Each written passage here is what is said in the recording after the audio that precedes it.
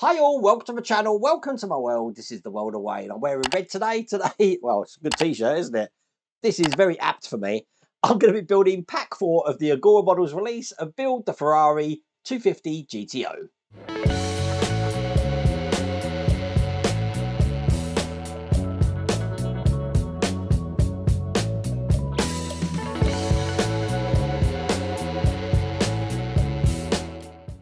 Okay, so there is going to be some continuity today because let me tell you that the start of this build I actually did yesterday. So I was in different clothes uh, and then I'm finishing it today or this morning uh, to put it out for you today on Tuesday because I created the first wheel. Uh, that's going to be, I'm, I'm, teasing you with that because uh, it's, I think it's harder.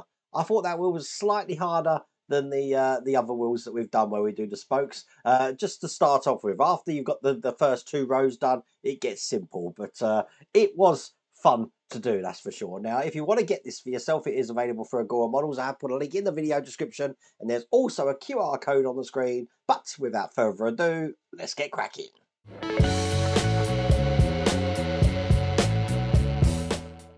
So I've got most of my cameras zoomed up now because in stage 21 we're going to start the first of these spoke tyres. Now, I've done a few of these on this build now.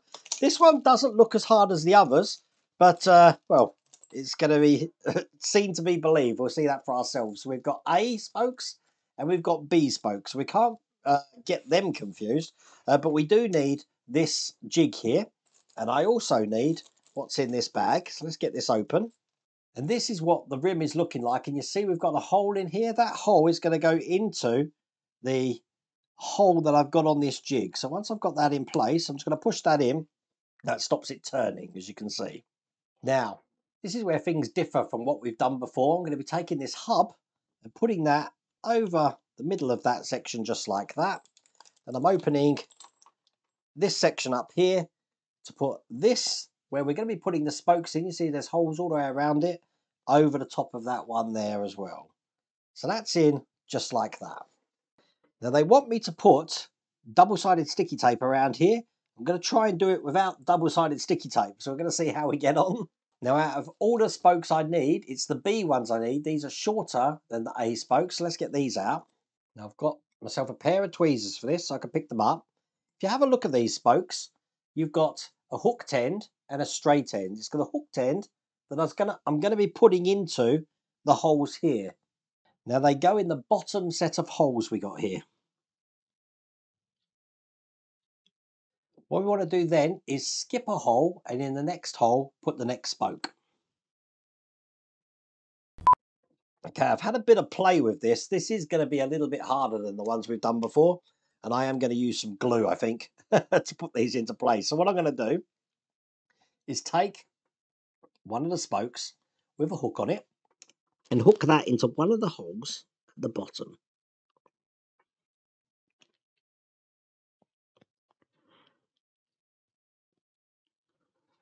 When that's in, I'm going to let that fall into the position so it's sort of like at an angle into the slot that's actually in the direction of that post. Now I do want that to stay into place. So what I'm going to do, this is the advantage of having a brush on glue because I can actually just put a tiniest bit of glue in there and then put that over into that section there. And then when we do the next one, we're going to actually skip a hole and then put the next one into the next sort of like channel there. And I'm going to keep doing this all the way around. Now I zoomed up quite close on the top camera so you can see exactly how that looks. Excellent. Now we need the type A spokes. By the way, I did have some spare here, or one spare. That's good. So these are going to go in the top sets of holes, longer spoke, but they're going to cross over the one we've just put in there. So I'm just going to give you an example of how this one is. And what I do is I just dot the tiniest amount of glue just on these points here. As you can see, it crosses over there, just like that, making an X. And it's pretty much exactly the same way as we did the bottom. We're going to skip a hole, and put this one in the next hole. So that's two in there, as you can see. To go round and do all the rest. And there you go. That's all of those in place just around there. Now we want to keep these into place and that's what this part's for. Now the easiest way to fit this, if you have a look here, we've got a little black arrow and on the metal part here, we've got a silver arrow. So you just match the black with the silver arrow and that tells you how these are going to go in. So it's going to go in just like this, just dropping it in gently like that. When you're happy with that, just push that into position like that. When you're happy with that, just push that into position like that. It's going to hold all of those spokes into place.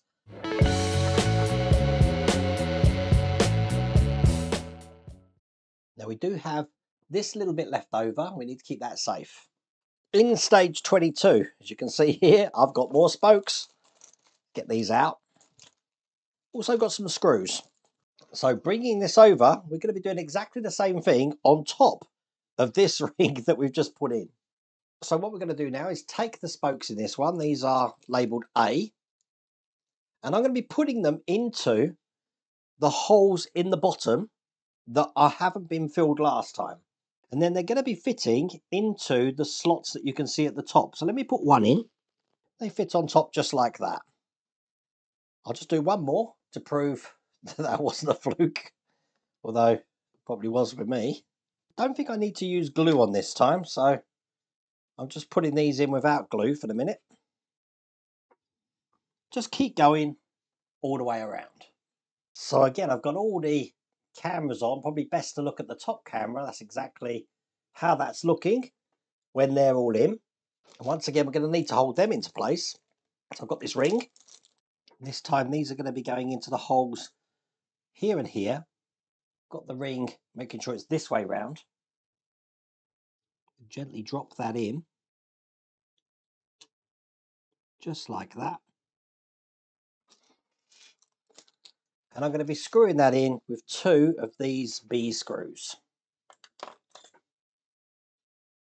Best way to do that, hold that in the middle like that. So that's not going to move. Get one B screw in here nice and tight. Turn it around. Push it down again. And get one in on this side.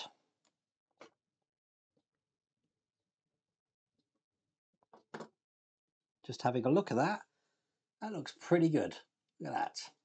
And that is the end of that stage.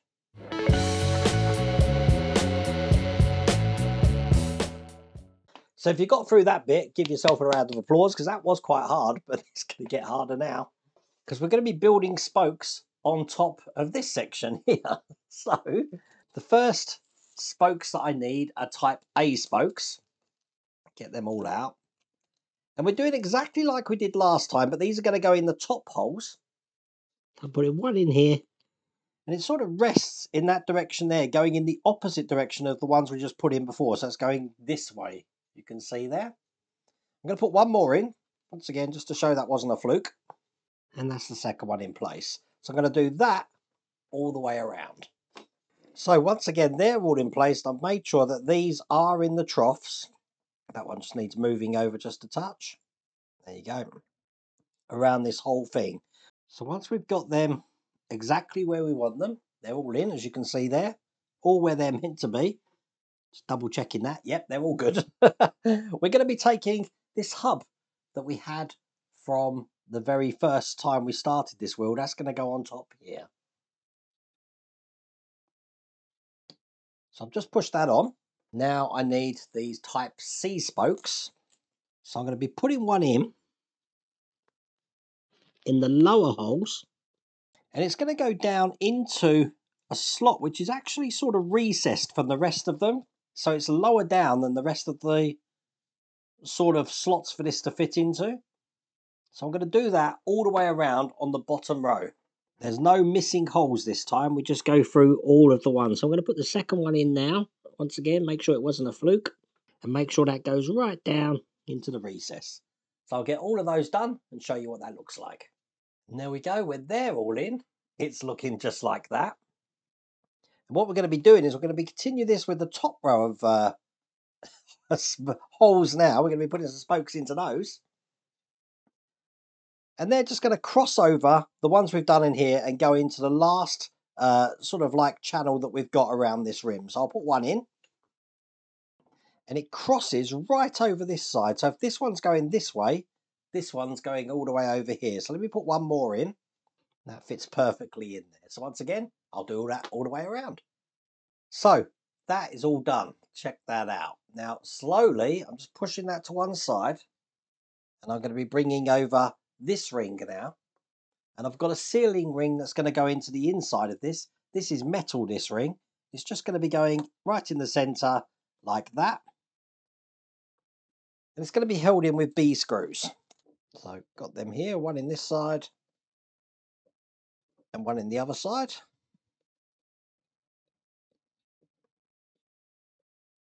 Nice and tight. And now what we're going to do is we're going to be putting this on top of what we created here. Now once again, we have an arrow, as you can see here. So we know what direction that's going in. This has got an arrow too. So this is going to be going, the arrow on this one is here. So it's going to be going kind of this way. So I want to make sure I line up the holes. Let's uh, just get the arrow in the right direction.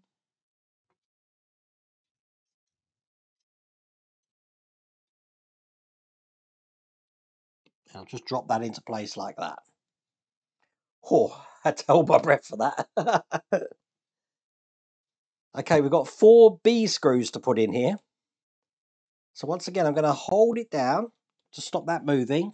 Start getting these in all the way around. So on this side, one on the other side here, and then just do the other two. And that is now completed. So I can take this off the jig, and as you can see, that's one completed wheel rim with all the spokes in place. that's taken me an hour to do that. Uh, is it harder than what we've done before? To start off with, it is when you do that initial two rows of spokes, but after that, it's not too bad. But there you go, that's looking like that. that's all there is to do in that stage.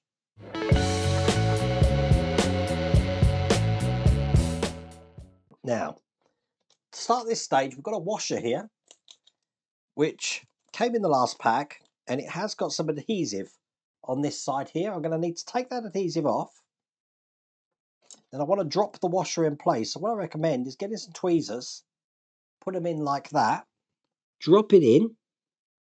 Now, it's not going to be the easiest thing to put in because you've got to get underneath all of these spokes here. Ah, but I've got it in, as you can see there. And I'm just making sure that that's pushed into place. Perfect. Now putting a wheel on, pretty similar to what we've done in the other builds. We do need to warm it up. We can use a hairdryer, but I'm going to use my old favourite of some boiling water. So here you go. Here's the hot water. Just going to put that in there like that. Let that soak for a little while. Just going to tidy up the workstation. Save this, because you're going to need this for all the other wheels. Remember, we're going to do this more times. And then when that's been soaking in there for a couple of minutes, I'm just going to fish that out and shake it off. It should be quite pliable, as you can see. I'm just going to be pushing this into here. Just like this, all the way around. Get this into place. Perfect on that side. Just got to do this side here. Perfect on that side. So dry this off. And there we go. That is one tyre completed. And that is the end of that stage. So just so you know, the recording time for that was one hour, five minutes to do the whole thing. Not bad. Okay, let's move on to the next stage.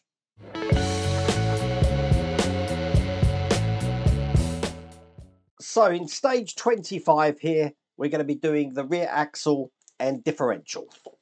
So the first thing I need is the right differential shaft looking like this. You know it's the right one because it's got a square end on it, as you can see there. And I need the right differential housing, which looks like this, and it's got an R stamped on this. It's going to be putting this on the shaft, and it's going to be going on this way with these parts facing down. So look on the top camera. Once that's on, it's going to look like that. So it should go all the way on there like that and fit flush in there. That's what way around it needs. I'm going to be doing, put that to one side, I'm going to be doing the same on the left axle with the left differential housing here. And then holding it this way round, this is going to be just going over the top there.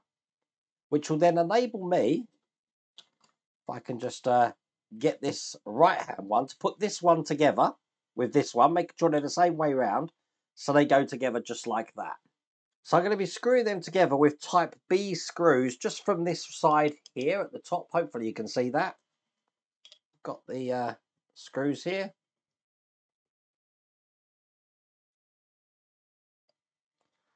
Get them in. So one that side and just one next to it. And then I'm in a position to bring the two halves of the differential together so they can slot in place. I'm just going to line them up. There we go, and push them in. So that is looking like that.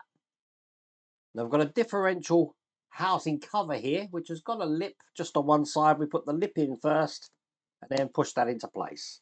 And that is all there is to do in that stage.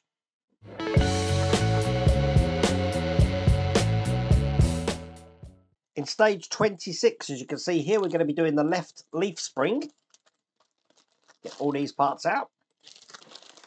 And if I just open this leaf spring, you will see that one side has a little arrow on it. Hopefully you can see that there. What I need to do, open this front bracket, and that's going to be going on the end nearest to that arrow.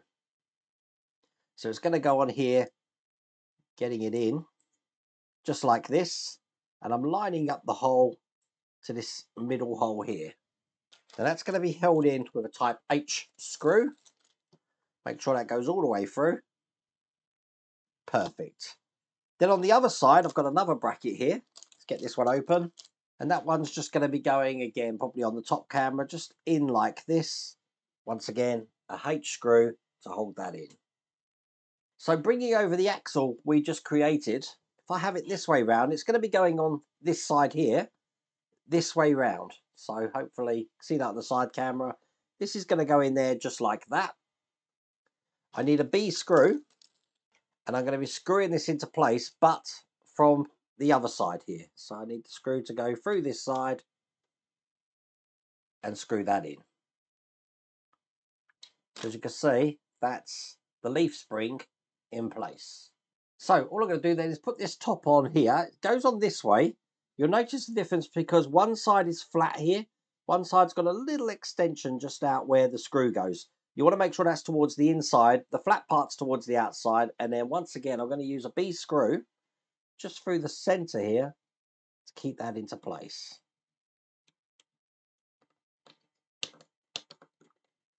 Now be careful when you screw this in because all of this is plastic, so uh, you don't want to break anything by putting too much pressure on it. But that is all there is to do in that stage.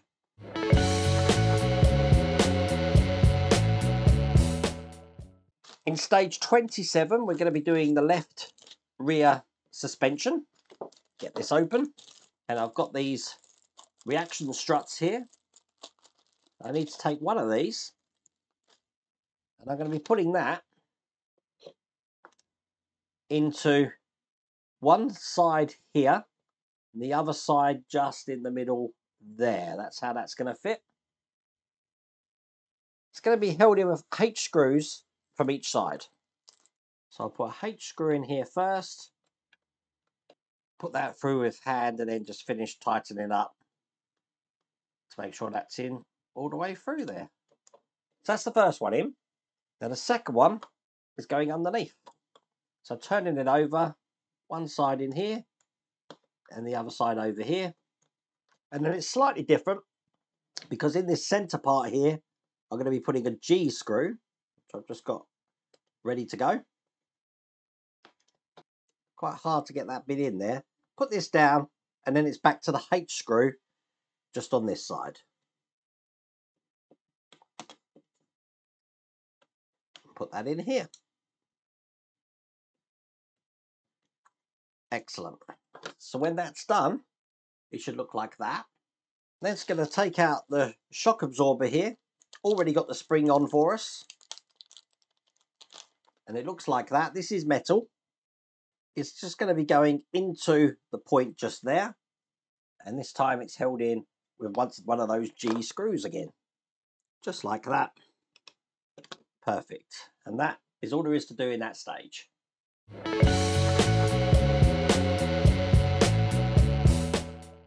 Stage 28, it's very similar to what we did already. We've got the right leaf spring now. Get all of these parts out. And once again, I'm looking for the arrow. I've got an arrow on this side, which means that's where this bracket that I'm opening now is going to go. That's going to go in there just like that. Lining up the holes. That's held in with a H screw. The other side has got this bracket, which again, line up the hole and put a H screw in there. Bring this leaf spring over and just like the last one, it's going to be going on the bottom here, making sure that the brackets are the same on both sides. This one's going to go in here like that. And remember that's held in with a B screw, but from the other side here. So screw that nice and tight. Excellent. And then finally, I'm going to be putting this bracket on top again, making sure that the extra bit is facing towards the inside. And it's going to be a B screw to hold that into place. And with those two in, that's all there is to do in that stage.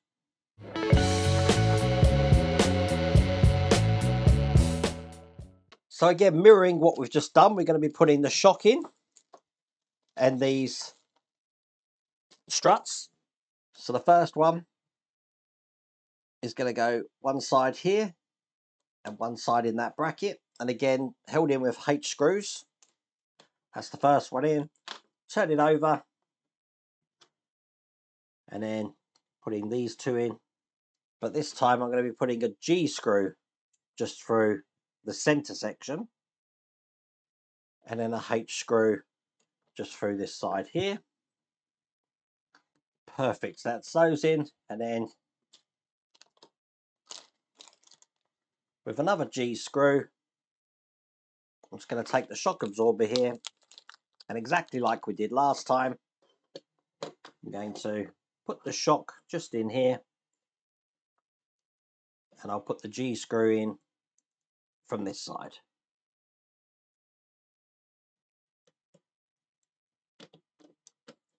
Just like that. And with those in, that's all there is to do in that stage.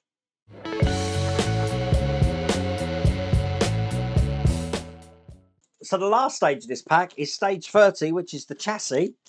Check that out. now this is plastic. It's quite surprising. I expected that to be metal, but uh, let's get this open. Okay, what we're going to do is we're going to have it this way round. And I'm going to be taking what we just created and I'm going to be offering that up to the underside here. And we've got a keyhole pattern in this bracket here, which is going to match the keyhole pattern I've got on that side. Just going to get this shock up as well, because the same thing's going to happen on this side here, like that. So they're both in place there. I've got some B screws to secure them in. So one this side and one the other side. And then these back parts here, I've just got them locked in, one and two. They're going to be held in from this side here, again with the B screws. So one in that side. And just one in the other side.